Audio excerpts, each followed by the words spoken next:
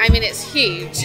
Um, we are constantly looking at the EN for just direction. So it would actually be a really good tool to understand the industry, read a little bit more about the specifics, hear from industry experts as well. Now more than ever, the content that you see in the exhibition news is the content that I think we as an industry need to, to give each other confidence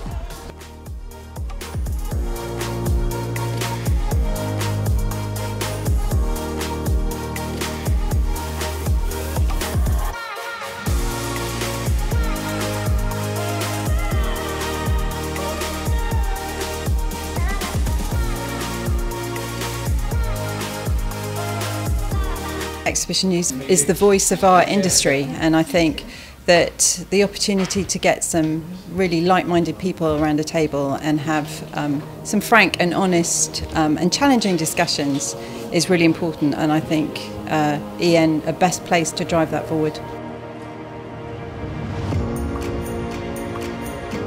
Everything is back, we are back, bring on the autumn, events from September, winning at life discuss how venue operators and event organisers can help minimise the threat of a serious incident.